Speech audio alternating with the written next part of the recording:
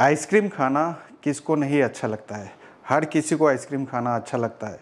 लेकिन अगर आपको डायबिटीज़ है तो आप हमेशा सोचते हैं कि आइसक्रीम खाऊं या नहीं खाऊं। क्योंकि अगर आप आइसक्रीम खाते हैं तो आपका शुगर लेवल बढ़ जाता है। तो घबराइए मत। आज के वीडियो में मैं आप लोग को बताऊँगा, सिखाऊँगा कि कैसे डायबिटीज़ के मरीज़ भी आइसक्रीम खा सकते हैं।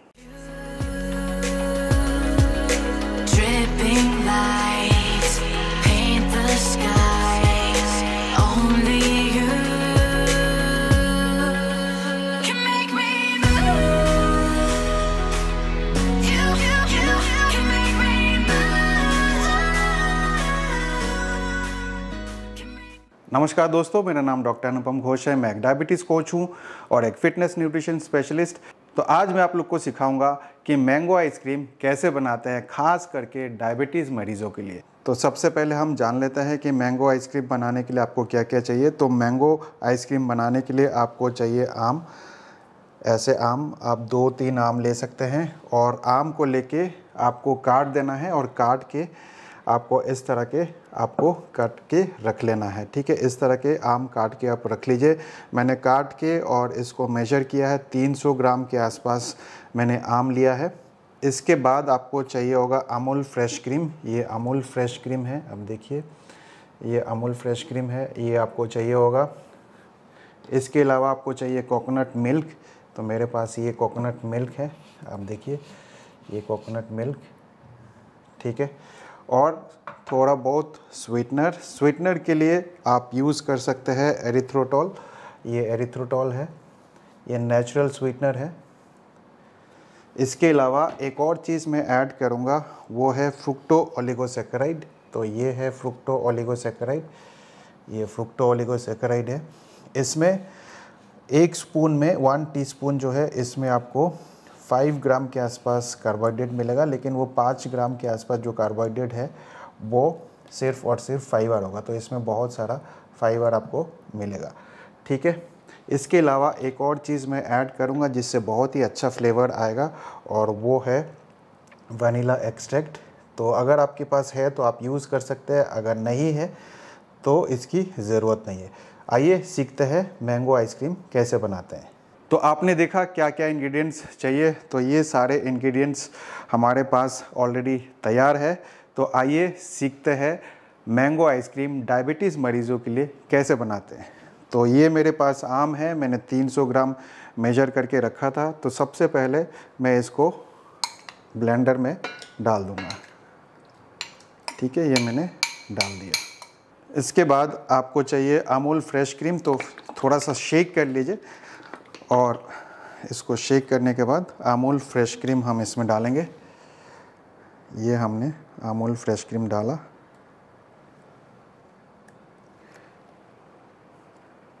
इसके बाद इसमें हम डालेंगे कोकोनट मिल्क हमारे पास कोकोनट मिल्क भी है तो ये कोकोनट मिल्क है, हम इसमें डालेंगे। दो तीन चम्मच आप इसमें डाल सकते हैं। इससे बहुत ही अच्छा कंसिस्टेंसी बनेगा।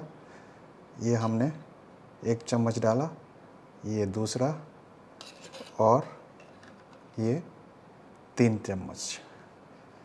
ये हमने कोकोनट मिल्क डाल दिया है। ठीक है? अब इसमें हम डालेंगे थोड़ा सा वनीला एक्सट्रैक्ट वनीला एक्सट्रैक्ट से भी बहुत अच्छा फ्लेवर आता है। अगर आपके पास है तो आप डाल सकते हैं। नहीं है तो इसकी ज़रूरत नहीं है ऑप्शनल है। तो ये हम थोड़ा सा इसमें डाल देते हैं। दैट्स इट अब इसमें हम दो चीज़ और डालेंगे, थोड़ा सा मिठास के लिए। ये भी ऑप्शनल है, अगर आप डालना चाहते हैं तो डाल सकते हैं, अगर आपको मीठा पसंद है और शुगर लेवल को नहीं बढ़ाना चाहते तो ये ऑप्शनल है, लेकिन मैं डालता हूँ क्योंकि मुझे थोड़ा सा आइसक्रीम अगर मीठा ना हो तो मज़ा नहीं आता है। तो मेरे पास ये है फ्रुक्टो ओलिगोसेकेराइड और ये आपकी शुगर लेवल को बढ़ाएगा नहीं क्योंकि इसमें जो कार्बोहाइड्रेट है, ये फाइबर है और फाइबर आपके सेहत के लिए बहुत ज़रूरी होता है। ठीक है? और ये है एरिथ्रोटॉल एरिथ्रोटॉल भी नेचुरल है तो एरिथ्रोटॉल डालते हैं। आपके पास इस तरह के अगर चम्मच है छोटा सा तो आपको ये दो या तीन चम्मच डाल सकते हैं। तो मैं तीन चम्मच डालूँगा एरिथ्रोटॉल का। ये एक, ये दो, और ये तीन। ठीक है? ये ज़्यादा मीठा नहीं होता है स्टीविया जैसा मीठा नहीं होता है तो इसलिए आप डाल सकते हैं। आप शुरू में एक बार बनाइए और उसके बाद आपको आइडिया लग जाएगा कि कम है, ज़्यादा है। पहली बार कोई भी चीज़ परफेक्ट नहीं होता है, ठीक है? तो अगर आपको लगता है कि ये ज़्यादा है तो अगली बार कम डालिए और लगता है कि कम है तो अगली बार ज़्यादा डालिए, ठीक है? अब इसमें मैं थोड़ा सा ओलिगोफ्रुक्टोसैकेराइड्स भी डालूँगा। ये ओलिगोफ्रुक्टोसैकेराइड भी मैं दो चम्मच ही डालूँगा।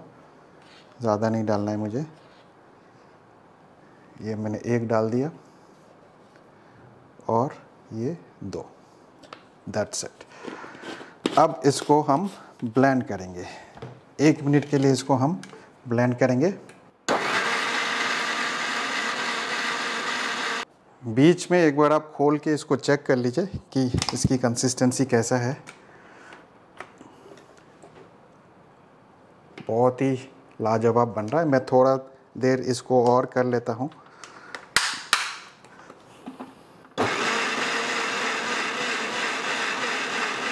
तो मैंने तकरीबन एक से दो मिनट इसको ब्लेंड कर लिया है। आइए खोल के दिखाते हैं इसकी कंसिस्टेंसी कैसा है। तो इसको हम अभी खोलते हैं और दिखाते हैं और एक बाउल ले लीजिए और उस बाउल में आप इसको डालिए। ये देखिए, कितना फाइन लग रहा है। ये देखिए।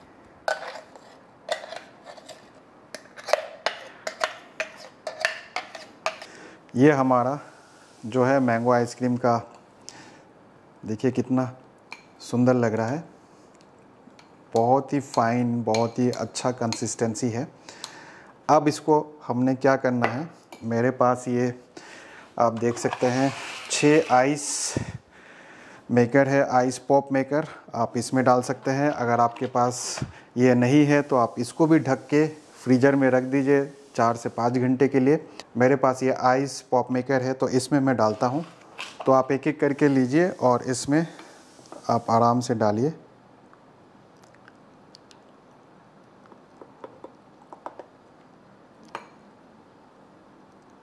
ऐसे डालना है आपने।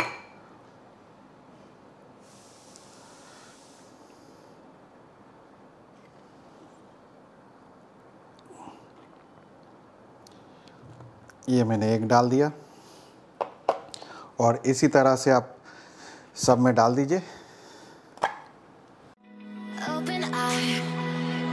feel the waves cut through me, hypnotized by the sounds I'm breathing in. Hold tight, hold tight, chemicals collide. Hold tight, hold tight, hold tight. Dripping lights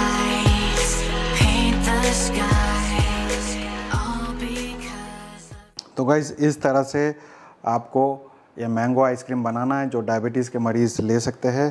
तो अब मैं इसको फ्रिज में रख दूँगा चार से पाँच घंटे के लिए और पाँच घंटे बाद इसको निकाल के टेस्ट करके आपको दिखाएँगे कि कैसा ये आइसक्रीम बना है। तो चार से पाँच घंटा हमने इसको फ्रीजर में रख दिया है और हमारा जो आइसक्रीम है, ये देखिए, हमारा आइसक्रीम बिल्कुल तैयार है। ये है मैंगो आइसक्रीम। ये मैंगो आइसक्रीम है। और इसको आप थोड़ा सा पानी में डाल के फिर इसको आप आराम से ऐसे निकाल सकते हैं इसको। और ये देखिए, कितना खूबसूरत लग रहा है हमारा ये मैंगो आइसक्रीम।